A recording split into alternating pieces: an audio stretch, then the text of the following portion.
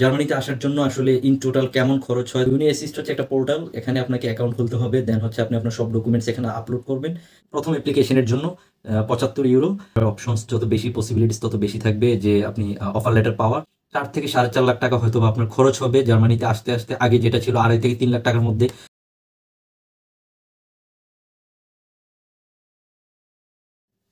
আসসালামু আলাইকুম। আমি আশা করছি আপনারা সবাই ভিতর থেকে সুস্থ আছেন, ভালো আছেন।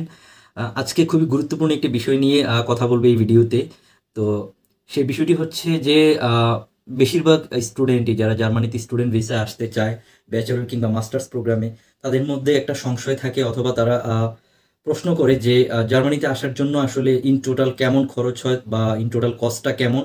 তো আজকে আমি চেষ্টা করব ইন ডিটেইলসে সেই বিষয়টি নিয়ে ধাপে ধাপে আপনাদের সাথে কথা বলার, আপনাদের সাথে শেয়ার করার, যে একজন স্টুডেন্ট তার ইনিশিয়াল স্টেজ থেকে প্রসেসিং শুরু করা থেকে জার্মানিতে আসা পর্যন্ত তার টোটাল কস্টিংটা কেমন, কি পরিমাণ খরচ আসলে হয় জার্মানিতে আসার জন্য একজন স্টুডেন্টের তো চলুন ধাপে ধাপে আসলে কথা বলি সেই বিষয়টি নিয়ে। তো সর্বপ্রথম আমি যে কথাটি বলে নিচ্ছি যে, আমি ধরে নিচ্ছি যে আপনারা যারা স্টুডেন্ট ভিসায় আসবেন জার্মানিতে তারা প্রত্যেকেই বেসিক রিকোয়ারমেন্টস সম্পর্কে অবগত বা আপনারা আপনাদের বেসিক রিকোয়ারমেন্টসগুলি অলরেডি ফুলফিল করেছেন। সো দ্যাটস ওয়াই আপনারা ফার্দার ফার্দার স্টেপে আগাচ্ছেন যে আপনারা এখন জার্মানিতে অ্যাপ্লাই করবেন। তো প্রথমত যে বিষয়টি হচ্ছে যে আমরা জানি যে আইএলস খুবই গুরুত্বপূর্ণ একটি রিকোয়ারমেন্ট জার্মানিতে আসার জন্য। তো আমি যদি ইনিশিয়াল স্টেজ থেকে কাউন্ট করি দ্যাট মিন্স আমি ধরে নিলাম যে আপনার অন্য অন্য ডকুমেন্টস সব রেডি আছে বা আপনার পাসপোর্টও করা আছে। সো সেই বিষয়টি আসলে আমি আপনাকে, আপনাদেরকে আমি খরচের দিকে ইনক্লুড করতে বলব না। তো আমি ধরছি যে আপনি আইএলস দিবেন, যেহেতু আপনি বাহিরে পড়তে আসার জন্য ডিটারমাইন্ড যে আপনি আসবেন। সো আমি ধরে নিলাম যে আপনি আইএলস করবেন। সো আইএলসের জন্য আমি বলতে পারি যে অ্যারাউন্ড এখন বিশ হাজার টাকা, বাংলাদেশি টাকায় যেটা যদি আমি কনভার্ট করি জার্মান ইউরোতে, সেটা হচ্ছে টু হান্ড্রেড ইউরোস অ্যাপ্রক্সিমেট তো এটা হচ্ছে একটা খরচ ইনিশিয়াল স্টেজে আপনাকে আইএলস এক্সাম দিতে হবে, যেহেতু আপনাকে অ্যাম্বাসিতে আইএলস সাবমিট করতে হবে অথবা আপনার ইউনিভার্সিটিতেও আইএলস সাবমিট করতে হবে এডমিশন পাওয়ার জন্য। সো সেক্ষেত্রে একদম সর্বপ্রথমে যে খরচটা আমি বলব যে আইএলস এক্সামের জন্য যে খরচটা যেটা বললাম দুইশো ইউরোর মতো, যেটা বাংলাদেশি টাকায় বিশ হাজার এরকম হবে। তো এটা গেল একটা খরচ। দেন হচ্ছে আপনি ইউনিভার্সিটিতে অ্যাপ্লাই করবেন। তো ইউনিভার্সিটিতে অ্যাপ্লাই করার ক্ষেত্রে দুইটা প্রসেস মেইনলি একটা হচ্ছে ডিরেক্ট অ্যাপ্লিকেশন আপনি সরাসরি ইউনিভার্সিটিতে অ্যাপ্লাই করবেন ইউনিভার্সিটির ওয়েবসাইটের থ্রুতে আপনি দেখবেন ওদের কী কী রিকোয়ারমেন্টস অথবা ওদেরকে আপনি সরাসরি আপনার ডকুমেন্টসগুলি পাঠাবেন। এটা হচ্ছে একটা প্রসেস আরেকটা প্রসেস হচ্ছে যে আপনি ইউনি অ্যাসিস্ট ইউনি অ্যাসিস্টের থ্রুতে আপনি অ্যাপ্লাই করবেন। সো ইউনি অ্যাসিস্ট হচ্ছে একটা পোর্টাল এখানে আপনাকে অ্যাকাউন্ট খুলতে হবে। দেন হচ্ছে আপনি আপনার সব ডকুমেন্টস এখানে আপলোড করবেন। ইউনি অ্যাসিস্ট আপনার হয়ে সব ডকুমেন্টস ভেরিফাই করে দেন হচ্ছে আপনার অ্যাডমিশনের জন্য ইউনিভার্সিটিতে আপনার ডকুমেন্টসগুলি পাঠায়। তো ইউনি অ্যাসিস্টের থ্রুতে আপনাকে অ্যাপ্লাই করার জন্য আপনি সর্বপ্রথম যে ইউনিভার্সিটিতে অ্যাপ্লাই করবেন, তার জন্য আপনাকে সেভেন্টি ফাইভ ইউরো দিতে হবে।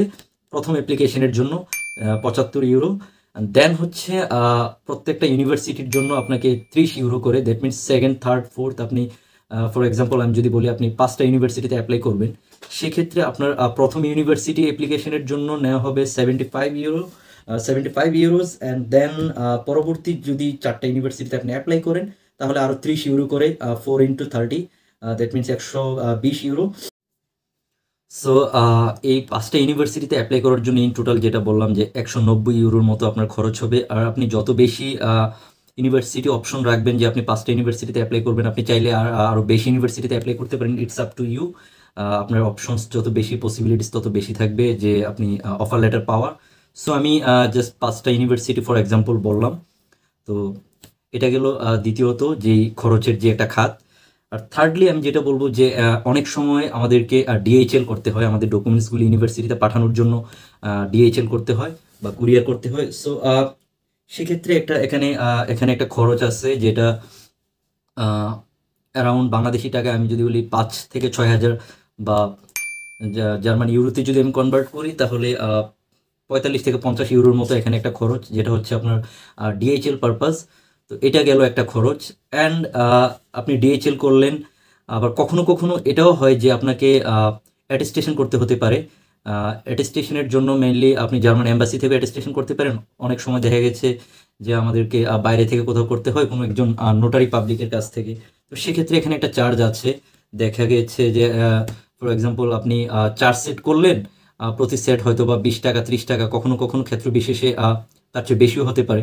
তো আমি এখানে অন এন অ্যাভারেজ যদি বলি যে আপনার তিন থেকে চার হাজার টাকা বাংলাদেশি টাকায় আপনি ধরলেন যে আপনি চার সেট যেহেতু আপনার ডকুমেন্টস অনেক বেশি, আপনার এখানে চার হাজার টাকার মতো খরচ হতে পারে বাংলাদেশি টাকায়।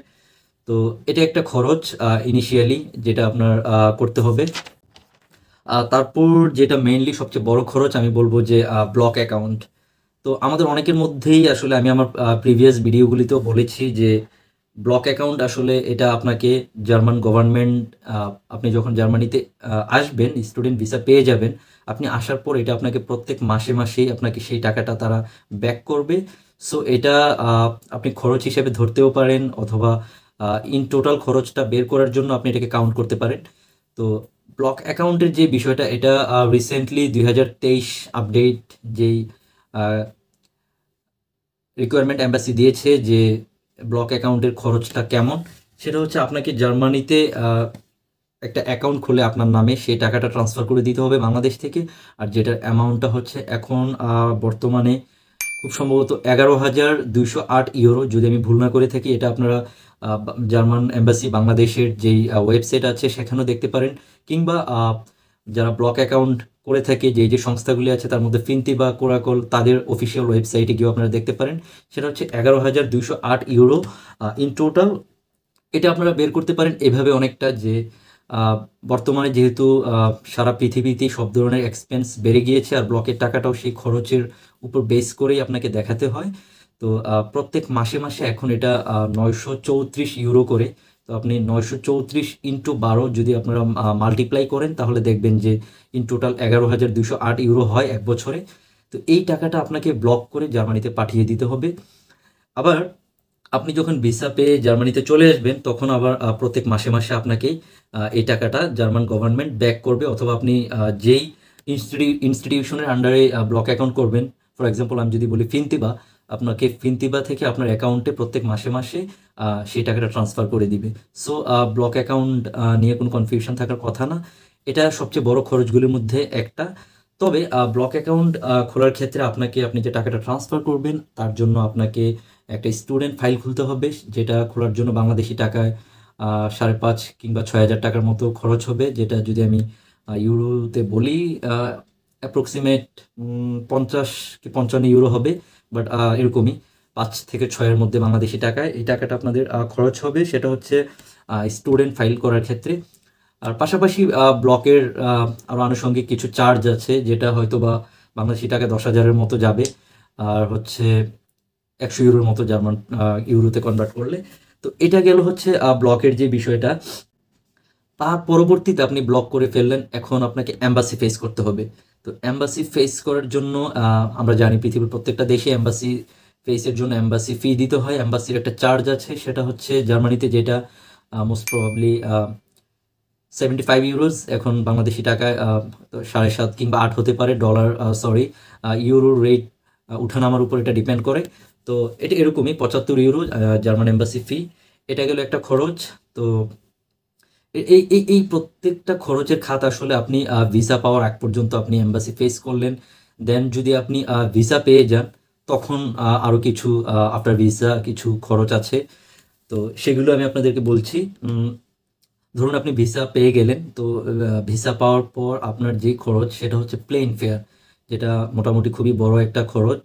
তো প্লেন ফেয়ারটা হচ্ছে ডিপেন্ড করে আপনি কোন এয়ারলাইন্সে যাচ্ছেন বা আপনি ঠিক কতদিন আগে টিকিট কাটছেন এটার উপর ডিপেন্ড করে আপনি এটার কস্টিংটা নির্ধারণ করতে পারবেন। ফর এক্সাম্পল, আমি যদি বলি আপনি ওয়ান ওয়ে একটা টিকিট কেটেছেন জার্মানি আসার জন্য আফটার ভিসা, তো সেক্ষেত্রে আমি অ্যাপ্রক্সিমেটলি ষাট হাজার টাকা বলতে পারি। বাংলাদেশি টাকা আপনি যে কোনো এয়ারলাইন্সে যদি আসেন, কম বেশি হতে পারে, একটু কম বেশি হবে বাট জাস্ট আপনি অ্যাপ্রক্সিমেটলি এটা ধরতে পারেন যে ষাট হাজার টাকা বা জার্মানিতে যদি আমি বলি তাহলে জার্মানি ইউরোতে ছয়শো ইউরোর মতো কিংবা পাঁচশো পঞ্চাশ ইউরো। তো এটা গেলে একটা বড় খরচ আফটার ভিসা আপনাকে প্লেন ফেয়ার করতে হবে। আর যদি আপনি ইনস্ট্যান্ট টিকিট কাটতে চান সেক্ষেত্রে আপনার সাতশো পঞ্চাশ থেকে আটশো হতে পারে। ধরেন আপনি ফ্লাইটের জাস্ট এক সপ্তাহ কিংবা দশ পনেরো দিন আগে টিকিট করছেন, সেক্ষেত্রে আপনাকে এক্সট্রা পে করতে হবে টিকিটের জন্য। আর যদি একটু আগে আগে আপনি টিকিটটা কনফার্ম করেন, সেক্ষেত্রে আপনাকে পাঁচশো পঞ্চাশ থেকে ছয়শো ইউরোর মধ্যে দ্যাট মিনস পঞ্চান্ন, ষাট হাজারের মধ্যে আপনি টিকিট পেয়ে যাবেন। এই গেলো একটা বিষয়। অ্যান্ড দেন হচ্ছে আরেকটা বড় খরচের মধ্যে যেটা হয় যে শপিং শপিংয়ের ব্যাপার যেটা, এটা আমি বলব আসলে অ্যাকচুয়ালি ইট ডিপেন্ডস কজ শপিংটা আসলে ভ্যারি করে। কেউ আছে, দেখা গেছে, বাংলাদেশ থেকে অনেক বেশি শপিং করে নিয়ে আসে, বিশেষ করে উইন্টারের জন্য। বা সামারের জন্য অনেক কাপড় চোপড় নিয়ে আসেন বা অন্য অন্য যেই ভারী জ্যাকেট বা গ্লাভস বা আদার্স যা যা আছে আদার্স স্টাফস তো এই ব্যাপারগুলি আসলে ডিপেন্ড করে যে আপনি নিজে কত কমের মধ্যেও শপিং করে আসতে পারছেন। আবার চাইলে অনেক বেশিও আপনি করতে পারেন। তারপর আমি যদি জাস্ট মোটামুটি একটা রাফলি অ্যামাউন্ট বলি, সেটা it can be thirty thousand Bangladeshi টাকায়। সো ত্রিশ হাজার হলে আপনি মোটামুটি আমি রিকমেন্ড করি যে আপনারা চেষ্টা করুন আরও কমে যতটুক শপিং করা যায়, যেগুলি না হলেই না বেসিক জিনিসগুলি আপনারা জাস্ট নিয়ে আসেন। আর এখানে আসলে উইন্টারের অনেক ভালো ভালো ব্র্যান্ডের জিনিস পাওয়া যায় যদিও একটু এক্সপেন্সিভ বাট এখানকার ওয়েদারের সাথে অ্যাডজাস্ট করে এরকম জিনিস আপনারা এখানে পাবেন। সো এগুলো এখান থেকে কেনাটাই বেটার বাট তারপর আমি বললাম যেটা যে পঁচিশ থেকে ত্রিশ হাজারের মধ্যে আপনারা চাইলে শপিংটা করতে পারেন। অ্যান্ড দেন যে বিষয়টা সেটা হচ্ছে আপনারা জার্মানিতে প্রথমবার আসবেন সো ইনিশিয়ালি আসার পর অনেক খরচ, আপনাকে নতুন একটা পরিবেশে খাপ খাইয়ে নিতে হবে, আপনাকে অ্যাকোমোডেশনের জন্য বাসা ভাড়া নিতে হবে, বা কখনো কখনো এটাও হতে পারে যে আপনাকে আপনি যার কাছ থেকে রেন্ট নেবেন বাসা ভাড়া নেবেন, তো তাকে আপনাকে কৌশন মানি দিতে হবে, যেটা আমরা, আমাদের বাংলাদেশেতে যেটা আমরা বলি অ্যাডভান্স তো এখানেও এটা কৌশন ফি একটা খরচ আছে মোটামুটি বড় একটা অ্যামাউন্ট তো আমি ধরে নিলাম যে আপনাকে এক মাসের ভাষা ভাড়া প্লাস হচ্ছে এখানে আসার পর ইনিশিয়াল বাজার খরচ বা চলাফেরার জন্য যে খরচ প্লাস হচ্ছে আপনি এসেই যেহেতু জব পাবেন না, একটু সময় লাগবে, আপনার ব্লকের টাকাটা আনব্লক করতে একটু টাইম লাগবে মোটামুটি সব কিছু মিলিয়ে বা আপনার সিটি রেজিস্ট্রেশন বা আদার্স যা যা ডকুমেন্টেশন আছে ব্যাঙ্ক অ্যাকাউন্ট ওপেনিং সব কিছু মিলিয়ে দুই মাসের মতো চলে যায় অ্যারাউন্ড বা দেড় মাস, তো সেই ক্ষেত্রে আপনাকে এই দেড় থেকে দুই মাস চলার জন্য যে একটা ফাইন্যান্সিয়াল ব্যাকআপ সেটা বেটার হয় যদি আপনারা বাংলাদেশ থেকে একটা সাপোর্ট নিয়ে আসেন। তো তবে আমি যেটা বলব যে এটা আসলে মোটামুটি ডিপেন্ড করে আপনি যদি দেড় থেকে দুই লাখ টাকা ক্যাশ নিয়ে আসেন, আর কমও আনতে পারেন, এটা সম্পূর্ণ আপনাদের উপর ডিপেন্ড করে। বাট এই খরচগুলি আসলে আসার পর ইনিশিয়ালি লাগে। যেহেতু অনেকগুলি বিষয় আসলে এখানে আছে। তো এই ব্যাপারগুলি মাথায় রেখে আপনারা আসলে আগাবেন। তো মোটামুটি এগুলি হচ্ছে সবচেয়ে বড় খরচ। আর সরি আমি আরেকটা জিনিস ড্রপ করেছি যে ট্রাভেল ইন্স্যুরেন্স প্লাস হচ্ছে হেলথ ইন্স্যুরেন্স একটা খাত আছে যেখানে মোটামুটি কিছু খরচ আছে। তো এটা খুব বেশি না হয়তো বা পাঁচ থেকে দশ হাজার টাকার মতো হবে। তো এটা একটা খরচ। তো এটা সহকারে ইন জেনারেল আমি যদি বলি যে মোটামুটি বাংলাদেশি টাকায় পনেরো লাখ টাকার মতো খরচ হতে পারে বা সাড়ে চোদ্দ লাখ কিছু কম বেশি হবে।